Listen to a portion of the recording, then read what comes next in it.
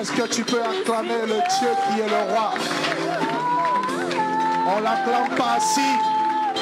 Ça, ce n'est pas du respect. Levons-nous, acclamons-le. Oh.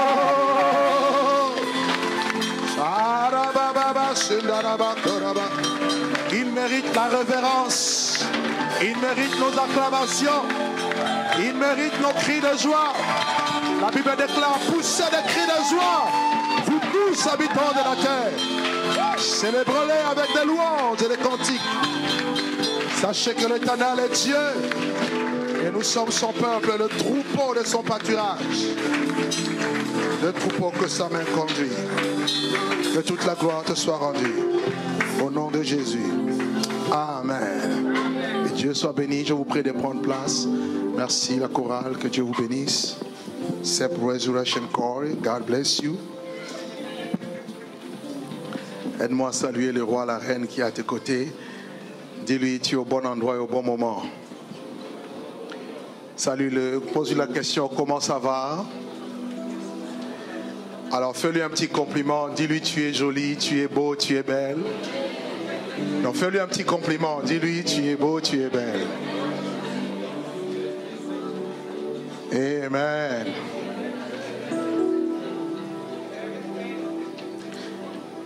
Y a-t-il des personnes qui sont contentes d'être là aujourd'hui, ce matin? Y a-t-il des personnes qui sont contentes d'être là? Non, c'est comme si tu n'es pas content. Est-ce que tu es content d'être dans la présence de Dieu? Waouh, un jour dans tes parvis vaut mieux que mille ailleurs. Alléluia. Nous saluons toutes les personnes qui nous suivent au travers des, des médias. Nous nous réjouissons de passer ces instants merveilleux à la présence du Seigneur avec vous. Et nous sommes également dans la joie d'avoir parmi nous notre sœur Victoire qui est là. Que Dieu te bénisse. Elle vient de Lyon. Lève-toi, nous voulons acclamer le Seigneur pour ta vie. Et elle vient régulièrement pour faire le culte avec nous. Que Dieu te bénisse. God bless you. Bless you. Nous sommes dans la joie d'être ensemble ce matin. Dis à ton ami, quelque chose va se passer. Ouh là là, c'est comme s'il ne te croit pas. Regarde, regarde-lui en face. Dis-lui, quelque chose va se passer. Il n'a pas bien entendu. Dis-lui quelque chose. Ouh là là, dis-lui quelque chose. Dis-lui quelque chose va se passer. Qui veut que quelque chose se passe? Qui veut vivre quelque chose de particulier? Qui veut expérimenter ce qu'il n'a jamais expérimenté depuis qu'il a donné sa vie à Jésus? Non, qui veut voir Dieu dans une dimension qu'il n'a jamais expecté, expérimenté? On dirait que ta soif là, c'est pas tout à fait ça. Je dis bien qui veut? La Bible dit on donnera à celui qui veut. Alors qui veut voir Dieu? Non, non, je dis pas qui veut voir cette résurrection. Je dis qui veut voir Dieu à l'œuvre? Qui veut voir la manifestation de ce Dieu? Amborama rekorobo sambrekantema. I'm thirsty. C'est en anglais. hein? Ça signifie j'ai soif. Et ce matin, j'aimerais parler à quelqu'un sur la soif de Dieu. Dis j'ai soif. Euh, Ton voisin, j'ai l'impression qu'il est encore un peu religieux. Lui, il est là, il regarde son costume, sa veste, son habit. Non, non, non, non, ça n'a rien à voir. On est bien habillé, c'est vraiment à l'intérieur, il y a quelque chose. Dis, dis j'ai soif. Dis à ton ami, j'ai soif. Bénis ta parole ce matin. Instruis-nous, enseigne-nous, prêche par nous. Je demande l'onction, je demande l'inspiration. Je demande que tu parles à un cœur et que tu me parles, Seigneur. Que tu te manifestes et que chacun de nous sort d'ici avec un plus venant de toi. Que ma, ma personne s'efface et que toi seul tu sois vu, proclamé. Tu es Dieu. Nous invitons encore ton règne et ta présence. C'est dans le nom de Jésus. Je t'ai ainsi prié.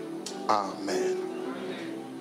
Prenez avec moi la parole de Dieu dans le livre de Psaume. Psaume au chapitre 63. Nous lirons le verset 1er au verset 2.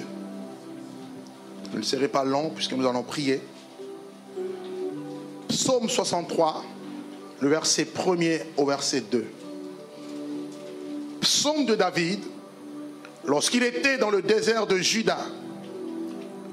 Dieu, tu es mon Dieu, et je te cherche. Mon âme a soif de toi, et mon corps soupire après toi, dans une terre aride et desséchée sans eau. Amen. Voici le psaume d'un centre agréable à l'éternel. Voici le cantique de l'homme selon le cœur de Dieu, un adorateur passionné, un prophète de l'éternel. Celui-là même qui avait reçu l'onction royale pour régner sur Israël afin de remplacer le roi Saül qui autrefois avait été rejeté. Voici le psaume de celui qui a dit, L'Éternel est mon berger, je ne manquerai de rien. Il me conduit dans de verts pâturages, il me dirige près des eaux paisibles. Il restaure mon âme et me conduit dans les sentiers de la justice à cause de son nom. Combien même je marcherai dans la vallée de l'homme de la mort ou cette vallée de Baca, je ne crains aucun mal car tu es avec moi. Ta houlette et ton bâton me rassurent et tu dresses une table en face de mes adversaires. Écoutez bien, il dit, et tu induis ma tête et ma coupe déborde. Le bonheur et la grâce m'accompagneront le jour de ma vie. Et j'habiterai, je demeurerai dans la maison de l'Éternel jusqu'à la fin de mes jours. David savait que tout ce dont un homme pouvait avoir besoin, ce n'est pas accéder à la royauté. Tout ce dont un homme pouvait avoir besoin, ce n'était pas avoir tout ce dont tu peux désirer dans ce monde. Mais le besoin le plus profond de l'homme, c'est être avec Dieu. Le besoin le plus profond de l'homme, c'est être là où Dieu veut que tu sois, dans sa présence. Car nous avons été créés pour être dans sa présence. Et il a dit, j'habiterai, je demeurerai dans la maison de Dieu tous les jours jusqu'à la fin de ma vie. Et voici cet homme, David, quelque temps après, il sera poursuivi par le roi Saül, qui cherchait à le tuer. Et là, il se retrouve dans le désert de Juda, loin de la maison de Dieu, loin de l'endroit où il pouvait se prosterner et chercher Dieu, adorer Dieu, contempler sa face et être restauré, être comblé, être rempli, être béni. Il se retrouve loin. Il avait l'onction, mais loin de la maison de Dieu. Il avait l'appel de Dieu, mais loin de, la source de cet appel. Loin de Dieu qui, pouvait, qui, est, censé être tout pour lui. Et lorsque vous êtes loin de Dieu, il y a un vide en vous. Lorsque vous êtes loin de Dieu, vous vous éloignez de Dieu, quelle que soit la circonstance, quelle que soit les causes, tu sentiras un vide, un manque. J'ai tout, mais il y a un manque. Demandez aux hommes riches, ils vous diront, ils ont peut-être touché à de l'argent, ils ont eu des choses qu'ils ne pouvaient pas espérer, mais après avoir eu toutes ces choses, ils sentent quand même un vide. Demandez aux politiques, ils vous diront, après avoir atteint le sommet de la nation, ils se rendent compte que tout est vanité, vanité de vanité, tout est vanité. C'est ce que le roi Salomon a dit, il le dit en tant que roi. Imaginez-vous un peu assis sur le trône, il règne, il a la domination, l'autorité, le pouvoir. Mais il dit tout est vanité. Pourquoi? Car Dieu seul peut combler le cœur d'un homme. Bien-aimés dans le Seigneur, aujourd'hui nous vivons dans les déserts de nations, dans le monde qui est devenu matérialiste. Un monde sans Dieu. Un monde éloigné de Dieu. Un monde qui ne cherche pas à s'approcher de Dieu. Un monde qui compte sur ses acquis. Un monde qui compte sur les richesses matérielles. Un monde qui est caractérisé par le chaos, le tohu-bohu, le vide total. Un monde qui est sans cesse en quête de satisfaction. Un monde qui est sans cesse en quête, je dirais, de, prospérité, de bonheur. Tout le monde veut être dans un Eldorado. Tout le monde veut être dans un paradis quelconque. Le monde court après ça. Mais le monde refuse de venir à la source qui est Dieu. Jérémie même le dira. Ce peuple a commis un double péché. Ils ont abandonné moi qui suis la source d'eau vive pour se creuser de citernes et de citernes crévassées qui ne retiennent pas l'eau. Et David se rend compte que dans le désert, il a soif. Lorsque tu seras dans le désert du monde, laisse-moi te dire, tu sentiras la soif. Et la soif caractérise le besoin de boire. La soif caractérise un manque profond au-dedans de toi. Tu peux faire semblant, montrant dans les apparences que tout va bien, mais à l'intérieur, tu sais qu'il y a un manque. À l'intérieur, tu sais qu'il y a un vide. Et je voudrais dire à quelqu'un, il n'y a que Dieu, il n'y a que Jésus, il n'y a que la présence de Dieu qui peut combler ce vide, qui peut combler ce manque. David dans le désert de Juda, il crie à Dieu, oh Dieu, y a-t-il un homme, une femme qui aimerait aujourd'hui crier à Dieu, oh Dieu! Y a-t-il une personne qui peut me suivre aujourd'hui par les médias en disant Je me sens sec, je me sens perdu, je me sens dans la sécheresse totale, je me sens dans une terre aride mais je j'aimerais crier à l'éternel. Je me sens dans la détresse, je me sens angoissé, je me sens oppressé, je suis dans la dépression, je suis, je suis, je suis perdu. Est-ce qu'il y a une personne qui peut crier vers Dieu? David a crié vers Dieu. Oh Dieu, aide-moi à dire, oh Dieu. Non, que ce soit le soupir de ton cœur. Dis-le avec moi. Oh Dieu. Il dit, tu es mon Dieu et je te cherche. Il dit, mon âme a soif de toi. Mon âme, il parle ici, mon âme, il parle à son âme, car l'homme est composé de trois parties, un esprit, l'âme et le corps. Et il dit, il était, il était, il était assoiffé dans son esprit. Mais là, il dit, même mon âme ressent cette soif. Il dit, mon âme a soif de toi. Mon âme a besoin de toi. Mon âme te désire. Il dit, mon corps soupire après toi. Mon corps, là dans la dimension physique, tu sens que non, loin de Dieu, c'est la misère et que ton corps aussi commence à réagir. Parce que la Bible dit que même notre corps est le temple du Saint-Esprit, vous voyez? Et mon corps soupire après toi. Soupirer après quelque chose, c'est comme languir.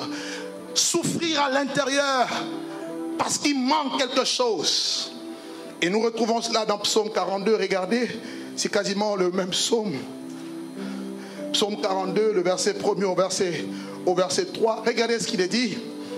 Au chef de chantre, cantique de fils de Corée.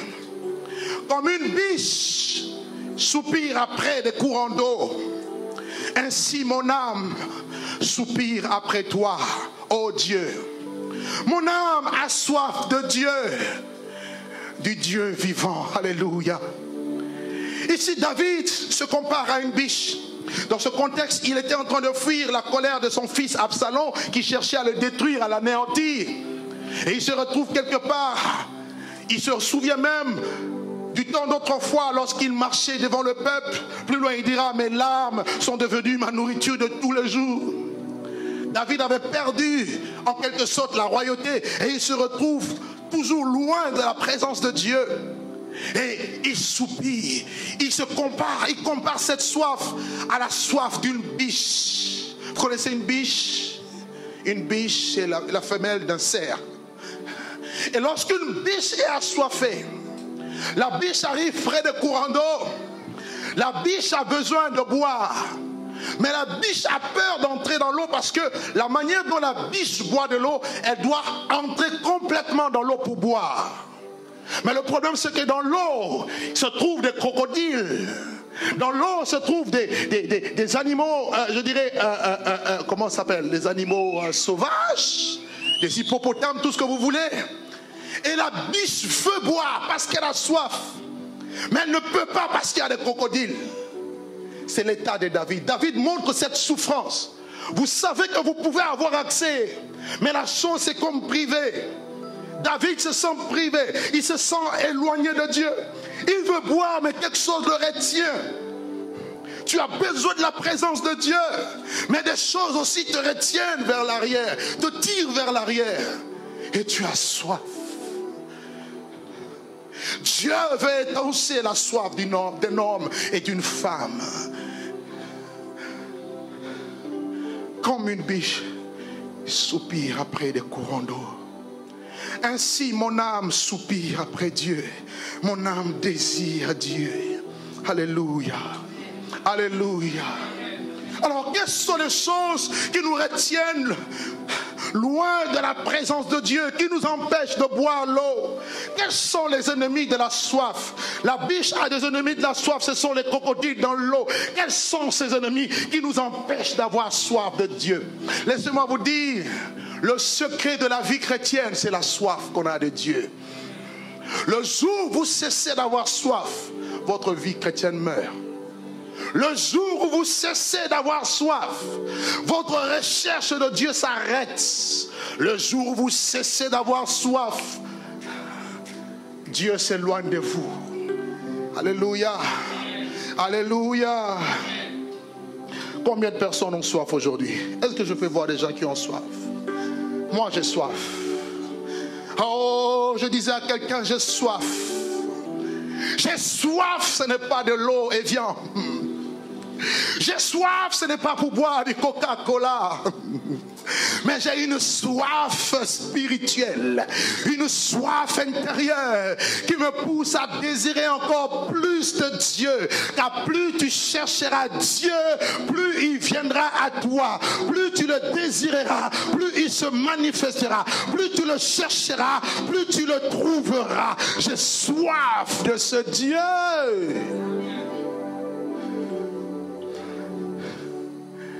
Et voici les choses qui sont des freins pour nous, pour que nous ne puissions pas avoir soif. La première chose, note le péché.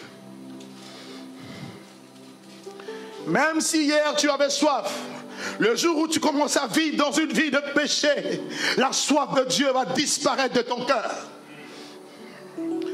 Car le péché, c'est l'ennemi de Dieu. Tu ne peux pas désirer ton ennemi. Qui désire être avec son ennemi Tu désires être avec ton ami. Alors fais de Dieu ton ami. Or, pour que, pour que Dieu soit ton ami, tu dois le craindre. L'amitié de l'éternel est pour ceux qui le craignent. Ça, c'est le premier ennemi, le péché, sous toutes les formes. La raison pour laquelle tu dois traiter le problème du péché au fond, à fond, tu dois régler ce problème, car c'est le péché qui enlève la soif. Oh, Jean, Paul dira aux Galates, vous courez bien, qui vous a arrêté pour vous empêcher d'obéir à la foi. Ta vie chrétienne était dynamique, elle est devenue au ralenti. Pourquoi? Tu n'as plus soif. Quelqu'un qui a soif, on le reconnaît par un dynamisme. Mais quand quelqu'un devient devient ralenti, n'a plus soif. Je dis bien la soif, c'est le désir de Dieu.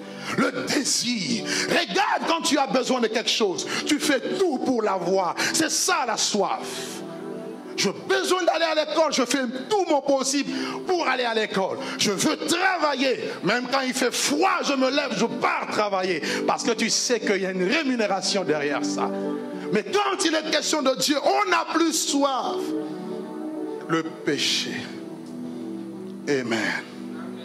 Le fils prodigue, il a pris l'héritage de son père. Il est parti dans une terre éloignée.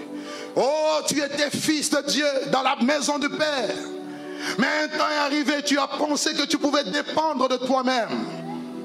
Et voici comment tu prends la part de ton héritage. La bénédiction que Dieu te donne devient un frein pour la soif de Dieu. L'élévation que Dieu t'accorde devient un frein pour la soif de Dieu. La femme, le mari que Dieu te donne devient un frein pour la soif de Dieu. Un grand ministère que Dieu te donne, une grande église, devient le frein pour la soif de Dieu. Que Dieu m'aide à avoir toujours faim et soif de lui, quoi qu'il arrive. Et ce fils est parti. Il a dépensé tout son héritage avec les prostituées, loin de la présence du Père. Quand tu vis dans le péché, tu ne t'inquiètes pas. Mais le jour où il avait tout perdu, il a eu en lui une forte conviction qu'il fallait rentrer dans la maison du Père. Et je voudrais dire à quelqu'un, même si tu t'étais éloigné par quelque péché que ce soit, ce n'est pas trop tard. Est-ce que tu peux dire à quelqu'un, ce n'est pas trop tard? Aide-moi à dire à ton voisin, ce n'est pas trop tard tu peux encore revenir. Laisse la, voix de Dieu retentir dans ton cœur. Laisse que la parole de Dieu dans ta conscience puisse interpeller ton cœur pour dire je rentrerai dans la maison de mon Père. Je retournerai dans la maison de mon Père. Je... Ah, Dieu veut des enfants prodigues qui reviennent à la maison du Père. Dieu ne te rejette pas. Dieu n'est pas un homme pour te rejeter. Dieu te veut dans sa présence. Il veut que tu reviennes. Oh, quand tu vas revenir, même si les autres te condamnent, ne regarde pas les autres, mais regarde l'amour du Père. L'amour du Père qui est content. Oh, le cœur du Père qui se réjouit de voir l'enfant retourner à la maison. Oh, quel parent, quand bien même son enfant se rébellerait, si l'enfant retourne, ne serait-il pas la joie? Dieu est un Père. Alléluia. Reviens.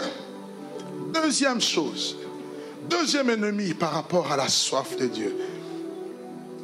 La religion. La religion.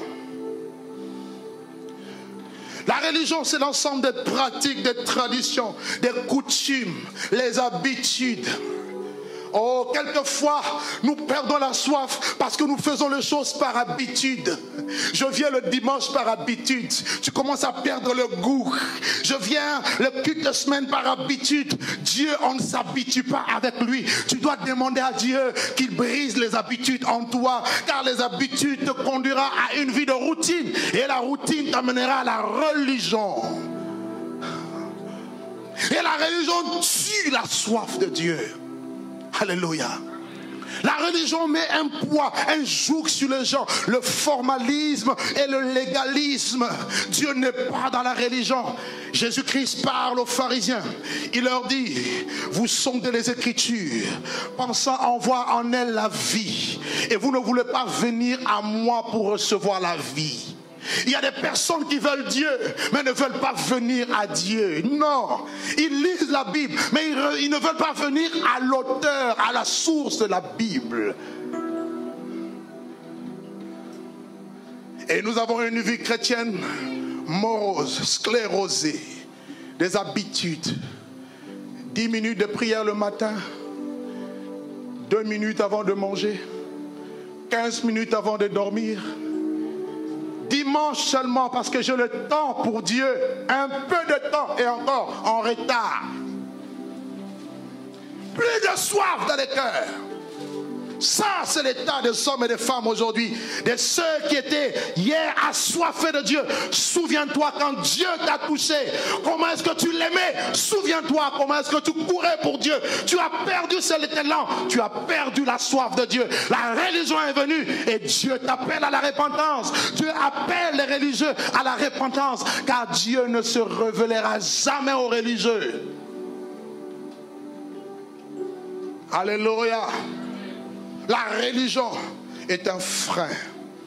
Troisième chose.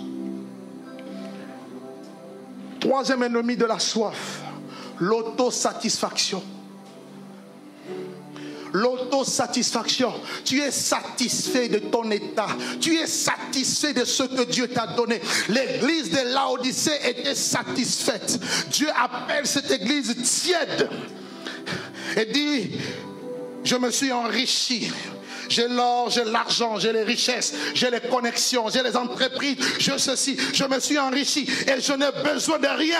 Dieu lui dit, tu ne sais pas que tu es misérable, malheureux, pauvre, aveugle et nu. Quand on n'a plus la soif de Dieu, on est misérable. Comme David dans une terre aride. Pourquoi l'autosatisfaction? Tu te plais de ce que Dieu t'a donné. Il y en a lorsqu'ils étaient en Afrique, ils étaient zélés pour Dieu.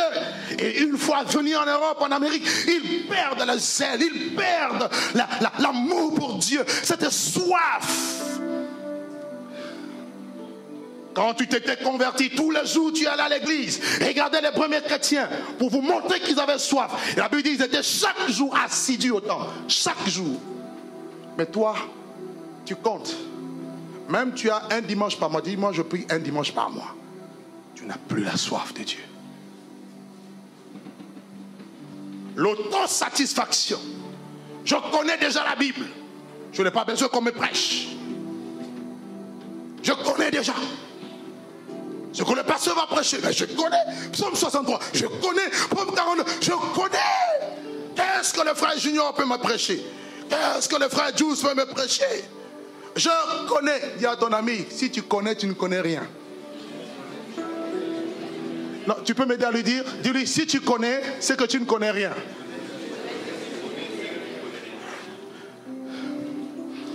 Alléluia. Et quatrième ennemi de la soif, c'est l'ignorance. Vous voyez qu'il n'y a pas Satan dedans. Hein? non, non, non, non. Il n'y a pas Satan. L'ignorance. L'ignorance de qui est Dieu. Tu connais Dieu, mais de manière intellectuelle, rationnelle. Dieu a besoin d'être connu par la révélation. Jésus dit, je te roule, je te loue, Père, de ce que tu as caché ces choses aux sages et aux intelligents, c'est-à-dire aux intellectuels de l'époque. Mais je te rends grâce de ce que tu les as révélés aux enfants. Il dit, personne ne peut venir au Père sans que le Alléluia, à moi, sans que le Père ne l'ait C'est le Père qui révèle le Fils et c'est le Fils qui révèle le cœur du Père. Si tu as soif, tu viendras chaque jour et dis, Seigneur, aide-moi à connaître ton cœur. Aide-moi à plaire ton cœur. Fais de moi un homme selon le cœur de Dieu. Ne te compare pas aux autres. Ton problème, c'est que ce sont les autres qui sont en unité de mesure. Ton frère et ta soeur n'est pas ton thermomètre spirituel. Et nous avons des thermomètres spirituels à l'église. Quand les frères, il est tout chaud, tout, tout feu, tout flamme, moi aussi ça va. Le jour il baisse, toi aussi tu baisses. Non l'ignorance. L'ignorance, c'est aussi le rejet de la connaissance. Alléluia. Et David se trouve là. Il languit. Il soupire. Il dira lui-même, vaut mieux un jour dans tes parvis que mille ailleurs. Mieux vaut un jour dans tes parvis ta présence qu'être ailleurs. Et il dit, mais quand est-ce que je pourrais encore paraître devant Dieu? Tu n'as pas l'idée, toi, chrétien, en France, de la liberté que tu peux avoir de pouvoir venir te réunir et adorer Dieu. Il y a des pays où les gens, on les tue. Il y a des pays où pour adorer Dieu, on doit se cacher, aller en Chine. Les Chinois, les chrétiens chinois se cachent pour pouvoir faire leur culte. Aller dans des pays comme en Afghanistan, aller en Inde où les églises sont brûlées. Les gens ont soif de Dieu, mais ne peuvent pas se réunir. Alors que toi, tu as la liberté que tu foules au pied. Tu bafoues. La soif a disparu. Alléluia. Et lorsqu'on a soif, regardez ce qui se passe. Lorsqu'on a soif, la première chose qui se passe, on identifie nos péchés pour nous repentir tel que nous sommes ici, chacun de nous a un petit péché. Et à ton voisin, dis-lui, il y en a. Oh, il te regarde même pas. Regarde encore. Regarde l'autre, regarde l'autre. Dis-lui, il y a un péché là.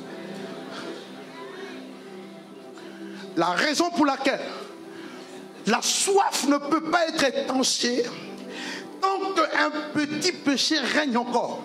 Tu dois le confesser. La Bible dit dans 1 Pierre chapitre 2, nous devons rejeter la, méchanceté et tout péché qui peut nous envelopper facilement. ensuite nous pouvons désirer.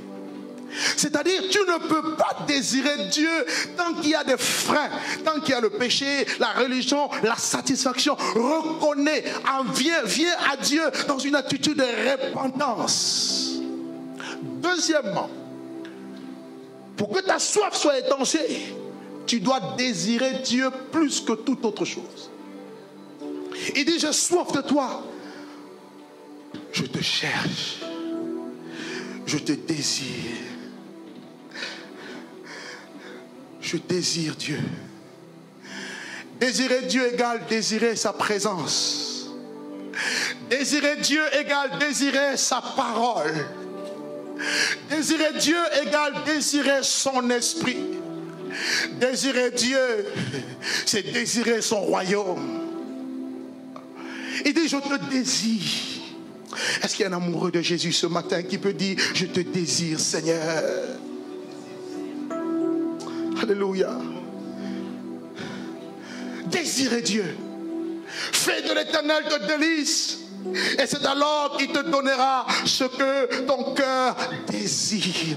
Lorsque tu désires Dieu, tu vas t'approcher de lui. La Bible dit, vous tous qui avez soif, Ésaïe chapitre 55, verset 1er, vous tous qui avez soif, venez aux eaux, venez, venez. Pour venir, tu dois quitter un endroit pour aller. Tu dois quitter le désert, tu dois quitter ta situation, la zone de confort pour aller. Venez aux eaux. Même si n'as pas d'argent, venez acheter, prenez du lait gratuitement. L'eau que Dieu donne, sa présence est gratuite, mais ça te conditionne. C'est à toi de désirer.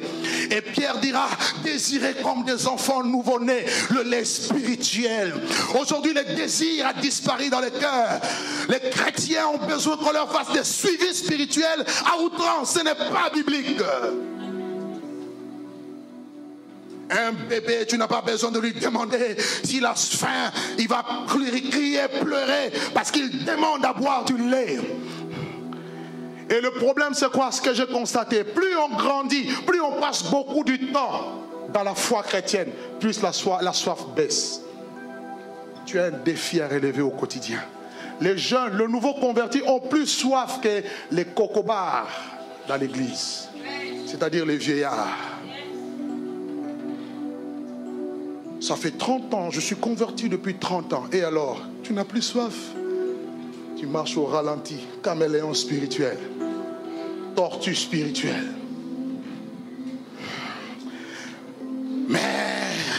Dieu dans cette génération veut des hommes et des femmes, même s'ils ont passé 10 ans, 20 ans dans la foi chrétienne, mais des gens qui ont toujours soif, encore plus de lui, encore soif de lui. Je désire comme si je venais de naître aujourd'hui. Oh, plus tu désires Dieu, plus tu le verras, plus tu verras sa puissance et sa gloire, plus tu verras le surnaturel. Mon frère, ma soeur, ne te lasse pas, ne t'habitue pas avec Dieu. Tu dois toujours considérer Dieu comme le plus grand trésor Là où est ton trésor, là aussi sera ton cœur. Mon trésor n'est pas la terre, mon trésor ce n'est pas l'or, l'argent, mon trésor n'est pas les maisons, mon trésor c'est le Seigneur de gloire. Je sais qu'il est ma richesse. Dieu dit à Job, jette l'or à la poussière de la terre et le Tout-Puissant sera ton or et ta richesse. J'ai une richesse inépuisable. J'ai une richesse qu'aucun homme ne peut ravir, qu'aucun gouvernement ne peut ravir. C'est Dieu bien-aimé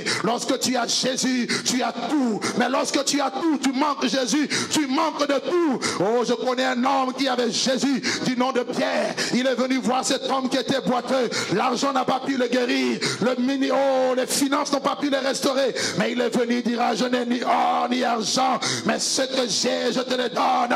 Oh, le monde a besoin des hommes et des femmes qui sont assoiffés de Dieu, qui vont bouleverser ce monde. Il dit, ce que j'ai, je te le donne. Au nom de Jésus, lève-toi et marche.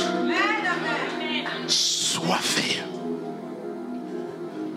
Lorsque tu as soif de Dieu, Dieu vient. Lorsque tu as soif de Dieu, tu lèves ta main, Dieu descend.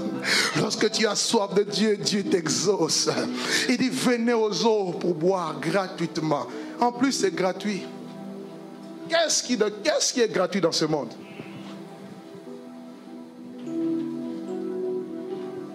Tout est payant. sauf l'eau de vie. Amen. Et bizarrement, on n'aime pas les choses gratuites. On aime quand on te fait payer. Mais Jésus a dit c'est gratuit. Dis avec moi, c'est gratuit. Dis c'est gratuit. Amen. Jérémie, chapitre 29, versets 13 à 14. Jérémie, chapitre 29, versets 13 à 14. Vous me chercherez et vous me trouverez. Si vous me cherchez de tout votre cœur, qui cherche Dieu? Qui veut chercher Dieu? Bien aimé, Dieu se cherche. Se cherche. Et Jérémie dit, vous cherchez, vous me chercherez et vous me trouverez. Si, il y a une condition, vous me cherchez de tout votre cœur. Si tu veux être étanché par ta soif, si tu veux recevoir l'eau que Jésus donne, cherche Dieu. Dispose le temps pour Dieu. Crée de l'espace pour Dieu. Dis Seigneur, je viens à toi, jeune s'il le faut. Prie, car Dieu se cherche dans la prière. Il dit, demandez, vous recevrez. Cherchez, vous trouverez. Lorsqu'on cherche quelque chose, c'est que la chose est quelquefois difficile à trouver. Demander, c'est facile. Je viens te voir, je dis demande, je demande, tu me donnes. Mais si tu veux de l'eau, tu dois chercher.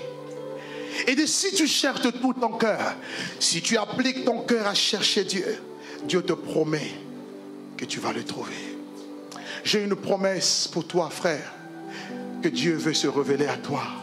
Dieu veut te donner l'eau de vie. Alléluia. Alléluia. Et troisième chose, après avoir désiré la repentance, le désir, chercher Dieu, il faut maintenant s'attendre à Dieu. Quelqu'un qui a soif n'est pas pressé de sortir de la présence de Dieu. Lorsqu'on a soif, on est impatient. Quand quelquefois tu peux prier une heure, Dieu ne vient pas. Tu peux prier deux heures, tu as l'impression qu'il n'y a rien. Continue encore, perce encore, cherche encore. Trois heures, rien. Tu continues encore à creuser. Allez voir ceux qui cherchent, ceux qui creusent le diamant. Tant qu'ils n'ont pas trouvé, ils ne finissent pas, ils ne s'arrêtent pas. Ils continuent à creuser, à creuser et à creuser.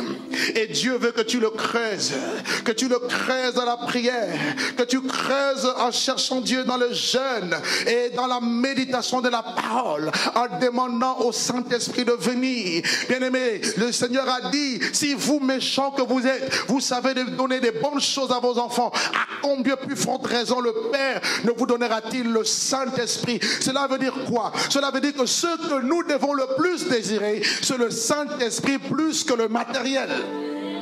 Ça, c'est la prière que Jésus nous a laissée. Le Saint-Esprit se cherche. Voici comment cette femme qu'on appelle la femme samaritaine, lorsqu'elle est partie au puits de Jacob, elle avait soif. Elle est partie pour puiser de l'eau. Mais la Bible dit ce jour-là, c'était un jour exceptionnel. Ce jour-là, c'était un jour du rendez-vous divin. Oh, un jour, certainement dans son âme, elle criait, elle avait soif, elle gémissait. Elle voulait voir Dieu dans une nouvelle dimension. Elle avait beaucoup de problèmes. Mais elle ne savait pas que c'était le jour du rendez-vous. Et c'était le jour où Dieu avait décidé de venir la rencontrer. Et elle arrive devant le puits. Et elle voit le, Messie assis au bord du puits. Et le puits de Jacob étant profond, elle jette sa cruche pour puiser de l'eau. Et Jésus lui dira, donne-moi de l'eau à boire. Et cette femme dira, qu'y-a-t-il entre nous et toi? Nous, nous et vous, nous, nous sommes samaritains. Vous, vous êtes des juifs. En effet, il n'y a pas de rapport entre les juifs et les samaritains. Et Jésus-Christ lui dira, femme, si tu savais, si tu connaissais le don de Dieu, et celui qui te dit, donne-moi de l'eau, qui était de l'eau physique, toi-même tu lui aurais demandé de l'eau, et il t'aura donné de l'eau vive. Et cette femme regarde, il dit, mais tiens, c'est bizarre. le monsieur est là, il n'a rien. Et il me dit que si je lui demandais de l'eau, si je connaissais ce don, le don qui était en lui, et c'est lui qui me donnerait de l'eau vive. Il dit, mais Seigneur, tu n'as rien pour puiser, tu n'as pas de cruche avec toi. Et le puits que tu vois, le puits de Jacob, est trop profond. Comment peux-tu dire que tu me donneras de l'eau? Es-tu plus grand que notre père Jacob qui a donné ce puits? Jésus lui dira, femme, quiconque boit de cette eau aura encore soif. Et j'aimerais dire à une personne, quiconque boira de l'eau de ce monde aura toujours soif. Quoi que tu désires dans ta vie, ça ne satisfera jamais la soif de ton âme que Dieu seul peut satisfaire. Si tu bois de l'eau, tu auras encore soif. Mais cependant, celui qui boira l'eau que moi je lui donnerai n'aura plus jamais soif. Et l'eau que je lui donnerai deviendra en lui une source d'eau qui jaillira jusque dans la vie. Cette femme a dit non, non, non, non, non. Donne-moi de cette eau. J'aimerais que tu sois cette femme. J'aimerais être cette femme qui dit Seigneur, donne-moi cette eau-là. Cette eau, lorsque tu bois, elle devient en toi une source d'eau. Alléluia. Et cette femme, elle a été bouleversée. Quand elle a demandé à Jésus, Jésus lui dit, écoute, avant que je te donne de l'eau, amène ton mari. Elle dit quoi? J'ai eu cinq maris, n'est-ce pas? Elle dit quoi? Je n'ai pas de mari. Voilà, plutôt. Elle dit, je n'ai pas de mari. Je dis, dis, oui, tu dis vrai. En réalité, tu as eu cinq maris. Tu as eu cinq mariages qui ont soldé un divorce. Et tu es maintenant avec un copain. Il n'est pas ton mari. Et la femme tremblait et dit, mais je vois que tu es prophète. Pourquoi? Tu ne peux pas avoir soif et avoir un péché. Il fallait d'abord que Jésus traite le problème du péché. Elle dit, je vois que tu es prophète. On a appris que le Christ viendrait. Et Jésus dit, c'est moi qui suis ce Christ. La Bible dit, elle abandonne la cruche. Elle s'en va dans la ville de Sichar. Elle devient évangéliste. Oh, oh, oh, oh, lorsque tu bois cette eau, cette eau te transforme à l'intérieur et à l'extérieur. Cette eau satisfait ton cœur. Jésus-Christ était devenu son époux. Oh, car il veut traiter une alliance avec toi. Il veut devenir ton époux. Ton époux. Même si tu n'es pas marié, même si tu es célibataire, sache que tu as un époux fidèle qui ne peut jamais trahir l'alliance. Il s'appelle Jésus. Alléluia. Alléluia. Et cette femme a été transformée. Son cœur bouillonnait. Il y avait des sources d'eau vive qui jaillissaient de son cœur. Et c'est ce que Dieu veut faire des hommes et des femmes. C'est ce que Dieu veut faire de son église. Dieu veut une église assoiffée. Lorsque tu as soif, Dieu promet de te donner la source d'eau. Wow. Brahmashaka. Est-ce qu'il y a des gens qui ont soif? Dis à ton ami, le pasteur a soif. Un autre jour, nous sommes dans Jean chapitre 7, le verset 37 au verset 39. C'était la fête des tabernacles. En Israël, la fête, il y avait trois fêtes majeures où le peuple d'Israël devait émigrer, aller vers Jérusalem. La Pâque, la Pentecôte et la fête des tabernacles, des tentes. Et cette fête durait sept jours. Et le dernier jour de la fête, alors que tout le peuple était là, Christ se lève et il dit, il déclare, si quelqu'un a soif, qu'il vienne. C'est une question de choix. C'est une question de volonté. Dieu ne t'obligera jamais. Mais il dit, si quelqu'un a soif, Jean chapitre 7, verset 37 à 39, si quelqu'un a soif, qu'il vienne. Si tu n'as pas soif, reste là où. Mais si tu as soif, viens. Et aujourd'hui, nous allons prier pour ceux qui ont soif. Alléluia. Alléluia. Si quelqu'un a soif, qu'il vienne.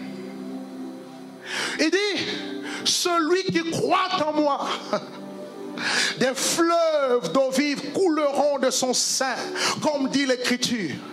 C'est-à-dire, avoir soif, venir à Jésus correspond à croire en sa parole. Avoir foi à ce qu'il dit. Et la foi, ce n'est pas, ce n'est pas la croyance. La foi, c'est l'obéissance à ce qui est écrit. C'est ça la foi. Car il y a des gens qui croient mais qui n'ont pas la foi. La Bible dit les démons aussi croient que Dieu existe et ils tremblent, mais ils n'ont pas la foi. Or Dieu ne peut jamais répondre à celui qui n'a pas la foi. Sans la foi, il est impossible d'être agréable à Dieu, n'est-ce pas? Il faut que celui-là même qui s'approche de Dieu croit que Dieu existe et qu'il est le rémunérateur de ceux qui le cherchent. Si tu as soif, tu vas venir à Christ. Tu vas t'approcher. Tu vas dire, oui Seigneur, je crois. Oui Seigneur, je te désire. Oui Seigneur, je veux voir un changement radical dans ma famille. Oui Seigneur, je veux voir un changement radical. Oui, dans mon église. Oui Seigneur, je veux voir un changement radical dans mon ministère. Je veux voir un changement radical dans tout ce que je projette, dans mes projets. Ça, c'est la conséquence de la soif.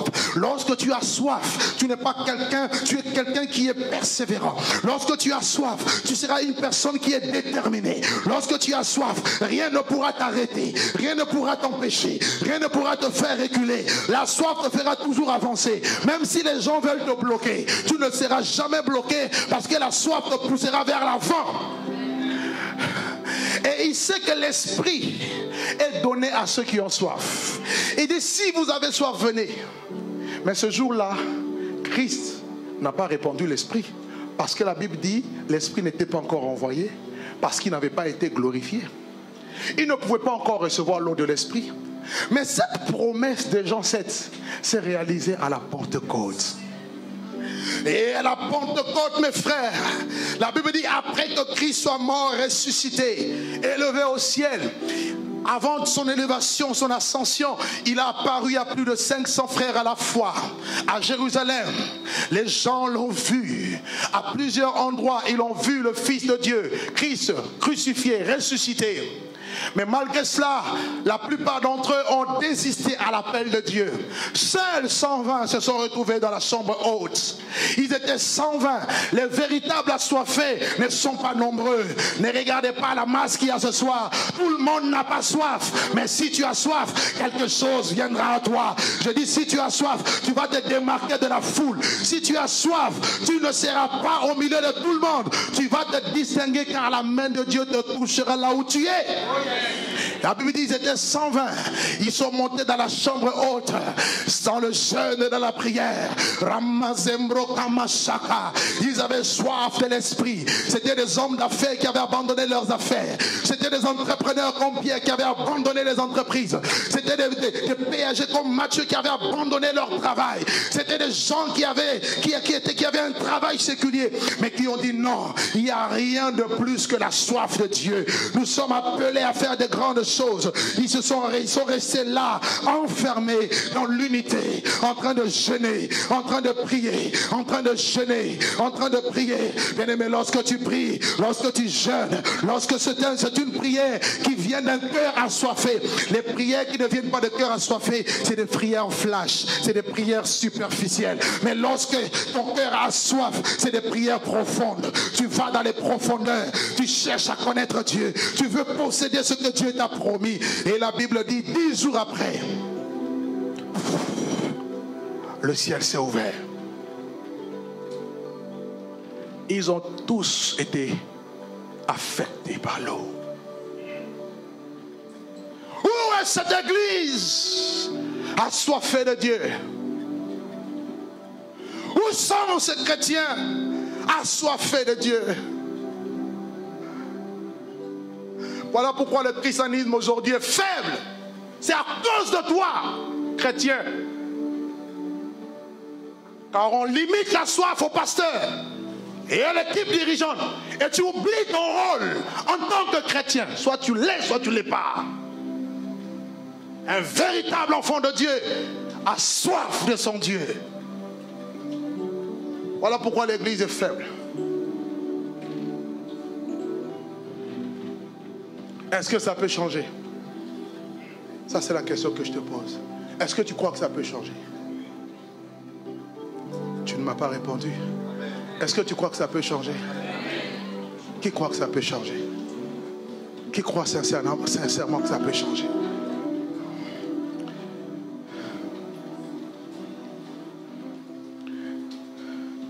Et pour finir, dans la Nouvelle Jérusalem, il n'entrera que ceux qui ont soif. Détrompez-vous. Ne pensez pas parce que vous avez la carte de membre de l'église que vous êtes membre du ciel. non. Non, non, non, non, non. Si tu pensais ça, tu te trompes. Regarde ton voisin, tu t'es trompé. Tu tu t'es trompé. Ça, c'est juste pour référencer les membres de l'église. Ça ne fait pas de toi membre du ciel. La Bible dit d'Apocalypse 21, verset 6. Dehors les chiens, les impudiques, tous ceux qui pratiquent le mensonge, les abominables. Ceux qui entreront dans la nouvelle Jérusalem, ce sont les assoiffés. Qui veut aller au ciel? Qui veut aller au ciel? Bien-aimé, si tu veux aller au ciel, sois différent des autres chrétiens. Si tu veux aller au ciel, sois un passionné, sois un assoiffé. Un assoiffé. Oh, je ne sais pas, peut-être peut que vous n'avez jamais connu la soif. Hein? Vous êtes né ici en France, c'est normal. Allez un peu dans les déserts, vous allez voir c'est quoi la soif. La soif de Dieu. C'est la soif de Dieu qui amène le réveil spirituel. C'est la soif de Dieu qui amène la croissance spirituelle dans la vie d'un chrétien. C'est la soif de Dieu qui amène une église à l'expansion, à la croissance. C'est la soif de Dieu qui pousse les chrétiens à se sanctifier et à se purifier. C'est la soif de Dieu qui permet aux chrétiens de se mettre à part du monde et de se consacrer à Dieu. C'est la soif. La Bible dit à celui qui a soif, pas à ceux. Ce n'est pas une question de masse, c'est une question personnelle. As-tu soif? Tu es marié, peut-être ta femme a soif, toi tu n'as pas soif. Ton mari a soif, la femme n'a pas soif. C'est une affaire personnelle. As-tu soif? Parce que si tu n'as pas soif, tu ne recevras pas. Dieu ne te donnera rien. Mais si tu as soif, tu recevras. Apocalypse. Prenez avec moi. Apocalypse et nous terminons là. Apocalypse au chapitre 21. On nous parle ici de la nouvelle Jérusalem. Je vais lire à partir du premier verset. Puis je vis un nouveau ciel et une nouvelle terre, car le premier ciel et la première terre avaient disparu, et la mer n'était plus. Et je vis descendre du ciel d'auprès de Dieu une ville sainte, la nouvelle Jérusalem, préparée comme une épouse qui s'est parée pour son époux. Et j'ai entendu du trône une voix forte qui disait, voici le tabernacle de Dieu avec les hommes. Il habitera avec eux et ils seront son peuple. Et Dieu lui-même sera avec eux. Il essuiera toute l'âme de leurs yeux et la mort ne sera plus. Il n'y aura plus ni deuil, ni cri, ni douleur, car les premières choses ont disparu. Celui et celui qui était assis sur le trône dit, voici, je fais toutes choses nouvelles et dit, écris car ces paroles sont certaines et véritables. Et il me dit, c'est fait. Je suis l'alpha et l'oméga, le commencement et la fin. À celui qui a soif, à celui qui a soif, je ferai quoi? Je donnerai de la source de l'eau de la vie gratuitement. À celui qui a soif, je donnerai de la source. À celui qui n'a pas soif, il ne recevra pas l'Esprit de Dieu. Apocalypse chapitre 22, verset 1er, on nous parle de cette, de, de cette source. Il est dit ceci, et il me montra un fleuve d'eau de la vie, limpide comme du cristal, qui sortait du trône de Dieu et de l'agneau. Voici l'eau vive que Dieu donne à ceux qui sont assoiffés. C'est ce, fleuve, les fleuves d'eau vive qui couleront de son sein. C'est ce fleuve d'eau de la vie limpide qui sort du trône de Dieu et du trône de l'agneau que Dieu donne. Et il met à disposition des assoiffés. Apocalypse 22, le verset, le verset 16 au verset 17. Apocalypse 22, verset 16 à 17. Il dit, moi Jésus, j'ai envoyé mon ange pour vous attester ces choses dans les églises. Là, il parle aux églises. Je suis le rejetant et la postérité de David, l'étoile brillante du matin. Et l'esprit et l'épouse disent, viens. Et que celui qui entend dise, viens. Et que celui qui a soif vienne. Et que celui qui veut prenne de l'eau de la vie gratuitement. Voici ce que la parole de Dieu déclare. Il y a un appel aux assoiffés de Dieu. Il y a un appel, pas aux religieux. Fais attention, chrétien, que la vie chrétienne devienne une routine pour toi. Tous les dimanches, tu t'habilles pour venir au culte sans la soif. Toutes les semaines, tu viens sans la soif. Ça devient un danger. Désire Dieu au plus profond de ton cœur. Car dans la nouvelle Jérusalem, il n'entrera pas des religieux, des prédicateurs de centre, mais il, il entrera des assoiffés de Dieu. Il entrera des passionnés de Dieu. Il entrera des hommes et des femmes, de jeunes et de vieillards qui aiment l'Esprit de Dieu et qui désirent voir Dieu. Et je veux encore avoir soif. Et encore soif de Dieu. Qui ici, sans qu'il n'a plus soif, ou que sa soif commence à baisser, il n'y a pas de honte à voir. Lève ta main. Merci. Levez vos mains. Levez-vous. Levez-vous là où vous êtes. S'il vous plaît. Je demande à tout le monde de fermer les yeux.